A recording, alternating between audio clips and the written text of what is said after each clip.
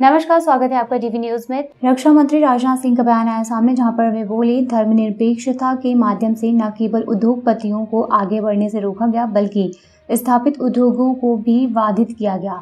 सरकार ने व्यापार समुदाय के लिए एक नई दृष्टि सामने रखी है। आज कारोबारी समुदाय को सम्मान और भरोसे की निगाह से देखा जाता है। एक था, पर कुछ ऐतिहासिक कारणों के चलते यहाँ का उद्योग और व्यापार गर्त में जाने लगा।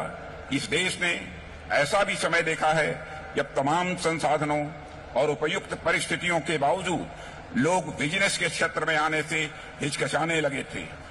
यानी स्यूडो सेकुलरिज्म छर्म समाजवाद के नाम पर इंडस्ट्रियलिस्ट को न केवल आगे बढ़ने से रोका गया, बल्कि स्थापित उद्योगों को भी बड़ा नुकसान पहुँचाया गया।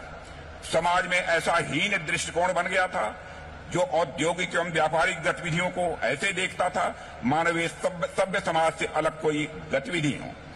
पर पिछले कुछ वर्षों में चाहे वह राष्ट्र में नए नए आर्थिक सुधार हों बिज़नेस कम्युनिटी को प्रेरित और उत्साहित करना हो, यह दिखाते हैं कि बिज़नेस कम्युनिटी के प्रति सरकार ने एक नई अप्रोच रखी है। पुराने और अप्रभावी नियम कानून जो इंडस्ट्री के लिए रेड टेप बन चुके थे। वर्तमान नेतृत्व में रेड कारपेट में वह बदल चुके हैं। आज बिज़नेस कम्युनिटी को न केवल सम्मान और भरोसे की नज़र से देखा जाता है, बल्कि वेल्थ क्रिएटर के रूप में, सामाजिक विकास में उन्हें एक प्रमुख कंट्रीब्यूटर समझा जाता है। भारत की और भी खास खबरें जानने के लिए जुड़े रहें डीबी न्यूज़ में।